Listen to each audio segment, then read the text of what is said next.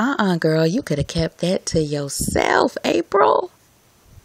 Melanin pop. Melanin pop. Melanin pop. What's up, fam? I only have one question for you. What's poppin'?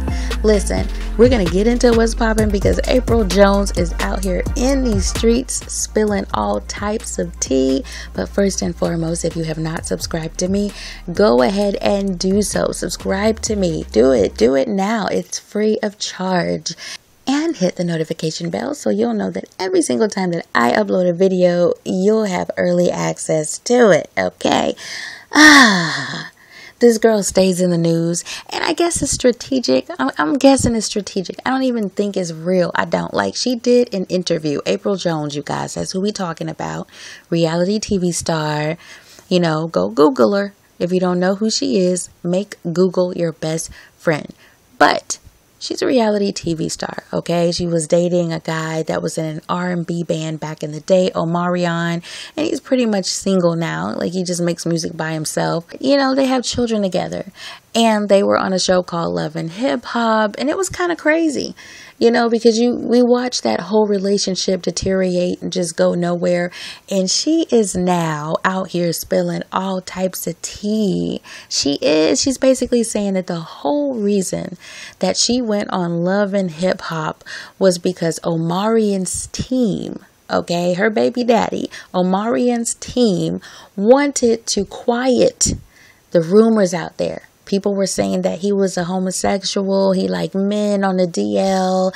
And so his team thought that it would be a really, really good idea to show him, to show the world, him on camera with his children, with a woman. These are her words not mine.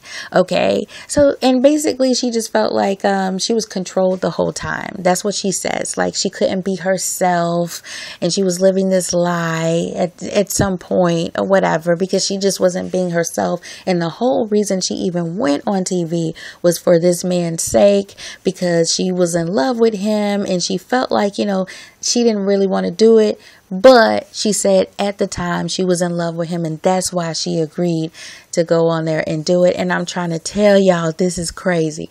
This is crazy. I don't know what to make of this, but I will say, I personally don't, you know, I'm not a big fan of it. I, I, I don't know what to make of it. Like, I don't know why she's saying this. And I guess it's her truth. People always do that. But I just wonder why. Why? Why now? That's all that I'm saying. Like, why do celebrities do this? And it's been other celebrities who have done this. You know, as soon as they break up with their man or it's not working, at some point, then they want to say, you know, he's a down low brother, that he's gay. And again, it could be true, but why? Why are you talking about it now? It just makes me give them the side eye. Doesn't mean that I don't like them, and I'm pretty sure they don't care whether I like them or not. But I don't know. I don't even know if this is true or not. Just because, and I'm gonna tell you why. Apryl has been trying to make Omarion look bad. I mean, she's talked about him, drug him, said all type of stuff. Why are we just hearing this?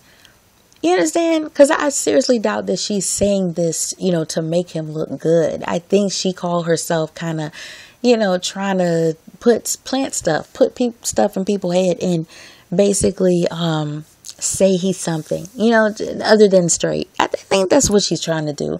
And it's just, I don't know, it's, it's, it's cringy and it's also, is suspect. You know, I know she trying to say, oh, is suspect, but I, I believe that she she talking about it. I get it, it's an interview, but it's it's just a little suspect. I don't know. I don't know about the timing, y'all. So, what do you think? You know, because I'm to quote some things that she said in an interview. She said, I totally lost myself. Now I'm back to being the fun Apryl, the Apryl who doesn't give a F.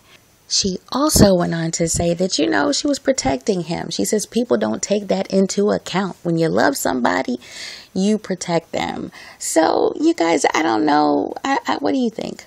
What do you think about this? I'm going to put in the description link on YouTube um, some articles about it. That way you can read what she said for herself. Um, yeah, so, you know, if you're watching me on YouTube, go ahead and check those articles out. But geez, man. And I know she has to live in her truth, but I was just talking about this in another video when I was talking about Moniece, okay? Um, Moniece and Apryl don't get along because they were both dealing with the same man at some point. But I was talking about this. You know, some things just are better left unsaid. I know you can talk. Of course you can talk. You got to live in your truth, but it comes across as, you know, you being problematic sometimes you know and i've seen guys be that way too. Sometimes you just gotta just leave stuff alone. Don't speak on it. I don't know. This is crazy because I, I i really think she's trying to and i might be reaching. Y'all think i'm reaching? I'm sorry. I don't mean to be reaching. It just seemed like she's just throwing a little bit of a hint out there that omarion is a is a homosexual. And um i mean that's his business but uh, I don't know if it should be ours. You know what I'm trying to say? I don't know. Okay, y'all, let me go ahead and get on out of here.